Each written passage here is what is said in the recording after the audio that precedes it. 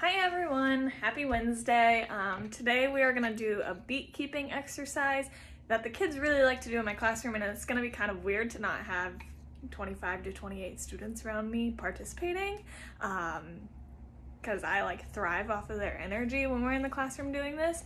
But they are going to keep the beat in their feet. When we are in the classroom, I give them spots and they lay their spot on the floor and they march around the room or tiptoe or whatever action I tell them to do. And then when they hear the freeze noise, which sounds like this, they freeze on their spot. So this will be super fun if you have a couple kids in your house or even if parents want to participate with their kids. Um, that way they kind of feel like they're in the classroom and doing it with other people. Um, so we'll get started. All right, first we are going to tiptoe to the beat.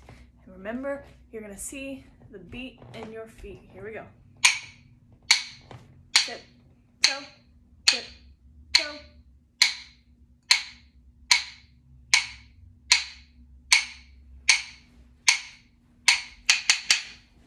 All right, you should be frozen.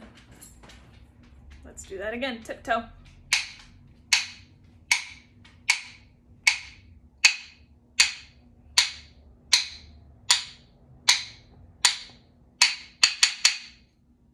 Frozen.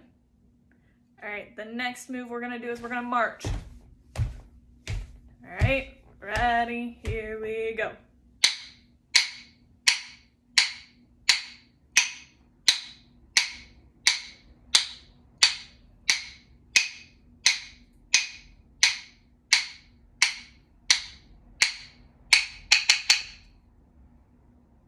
You're frozen.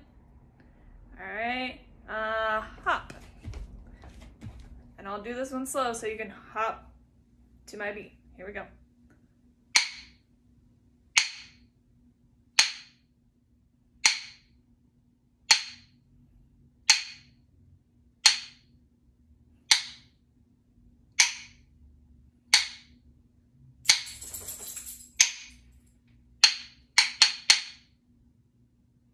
Uh, let me think. I want you to come up with your own move at home. Normally I would call on a kid and have them pick their own move for me.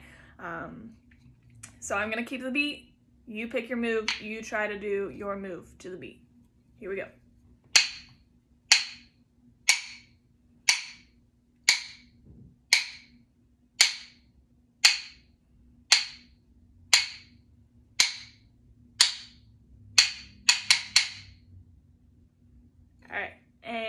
Let's do hopping, and this time our hops are gonna be really fast. Here we go.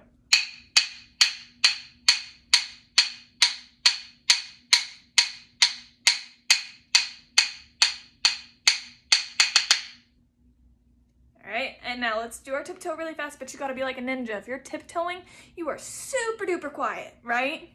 So I want your tiptoe to be super duper quiet. Your parents can't even hear you. Ready? Here we go.